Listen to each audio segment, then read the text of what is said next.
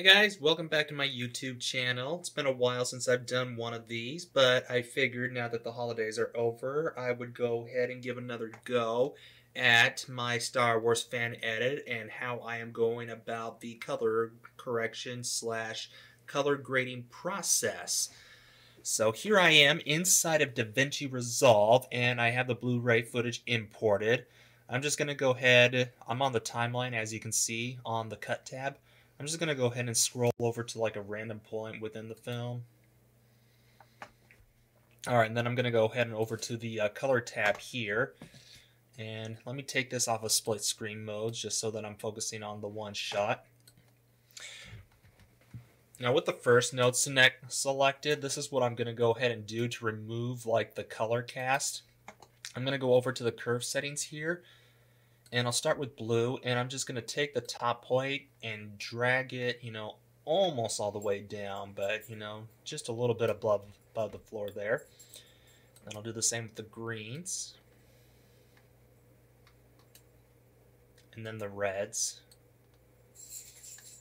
So as you can see, what I'm doing here, it's not completely desaturated. It's still leaving some colors here. Like you can see the blue on R2's uh, dome panels and you can see a bit of gold or yellow on 3PO. But this just kind of got rid of the strong color cast and it kind of made it look made it look like a raw log footage. So let me go ahead and name this color cast remove. And I'm going to go ahead and add another node here by right clicking and then add a, add node, add serial. I'm going to go ahead and call this white balance. And then I'll add another node here.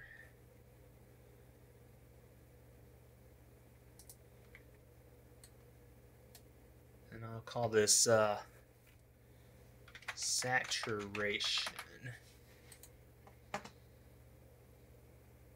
So with the saturation node selected, I'm going to go ahead and increase the saturation all the way up to 100.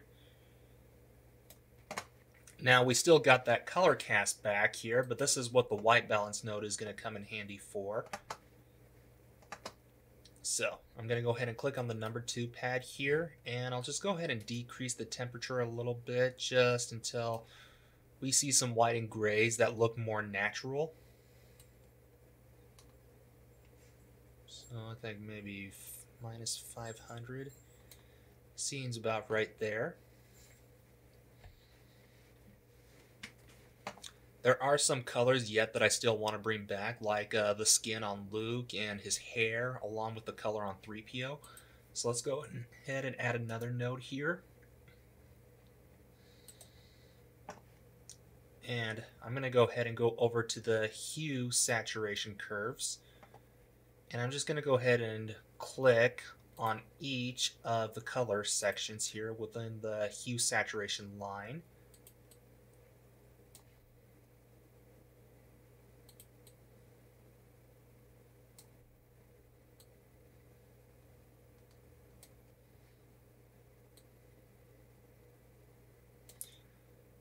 And I will go ahead and increase the saturation of the yellows here.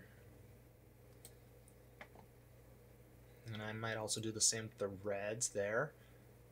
I don't want to go too strong, but just till we bring the color back a bit some. And I also want to check the skin as well. So I'm going to go to the Windows tab here. I'm going to click on our power curve, and then I'll just draw a mask on his hand here, just so that I have a portion of his skin sampled.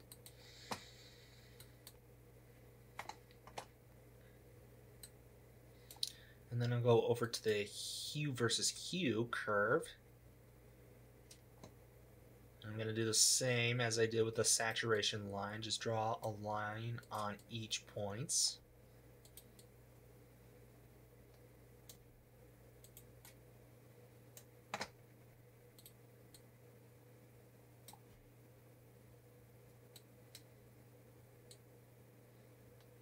I'll just take the red here and drag that down a little bit just so that the white line here is lining up with the skin tone line there. I can go ahead and shut that off now. All right, now I'm gonna go ahead and compare the before and after.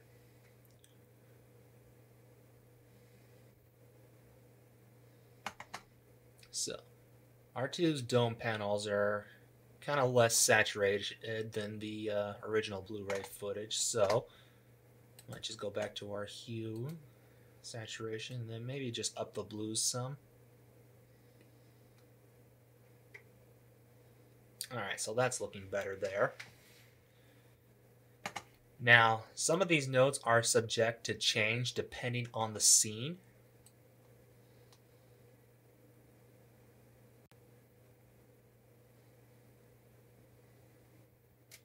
Like, let's go ahead and yeah, skip over to the binary sunset.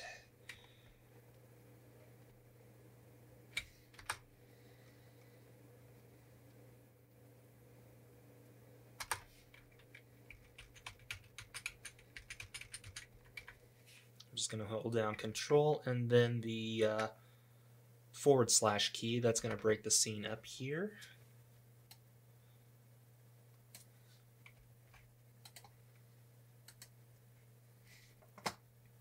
So I'll click on the white balance node here and I'm going to reset that.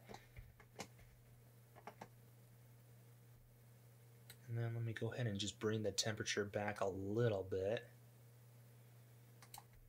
And same with the tint, just so that it's less magenta.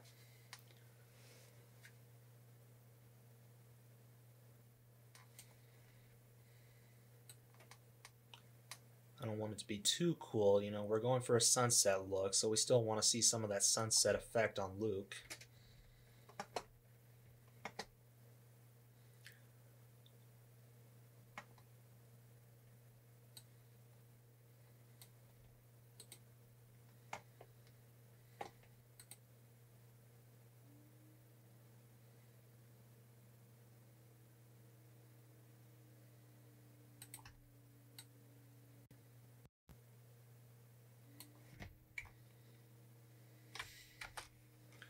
And then let's see if I can just go ahead and jump forward to another scene here where I would have to alter the nodes. Alright, so this is a little too blue. So let's reset the node on the white balance. And that's too yellow, so let's go ahead and take the temperature down a little bit.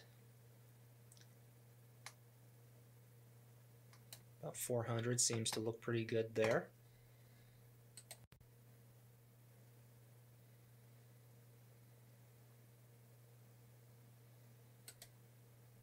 But you can see their skin looks a lot better in this one. Some of the parts may be a bit dark here, so what I'll do, um, I'd actually just rename this to like uh, grade.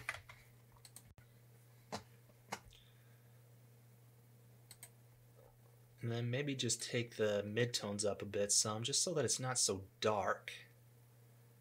There we go, that's looking better.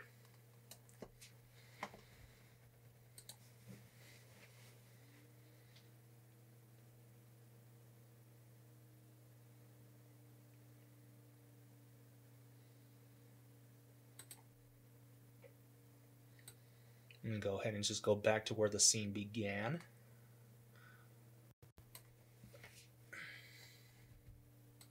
Just so that I can split it.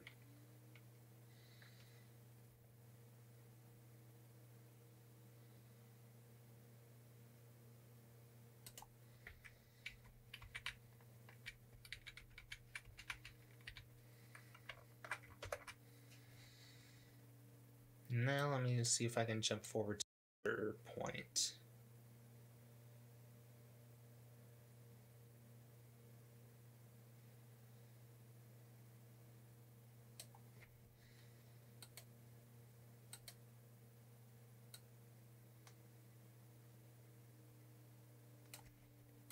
Maybe we'll just skip over to the Battle of Yavin.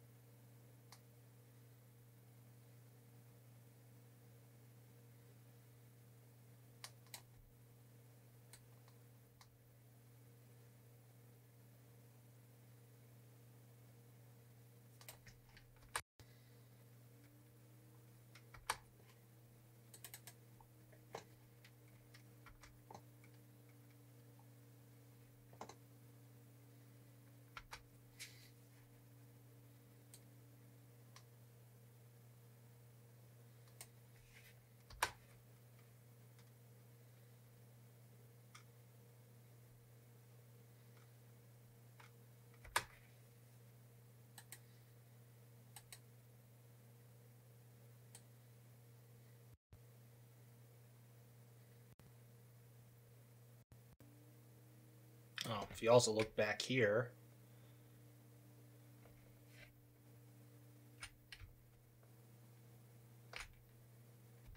you'll see that it also corrected the uh, flashes. They're a bit more natural looking instead of magenta.